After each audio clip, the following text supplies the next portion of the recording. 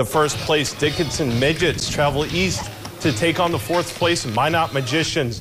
Minot strikes first when Tyler Buchanan laces this ball over the center fielder's head for an RBI double. Magicians lead 1-0. Landon Olson lines this ball to left field. Looks to be a base knock, but Kellen Burke makes the full extension diving catch to take away a hit. Dickinson looks to keep it a one-run game. Pitcher Hunter DeChamp starts the inning strong, striking out Parker Hahn. Magicians take game one 10 to 3, but drop game two 4 to 2.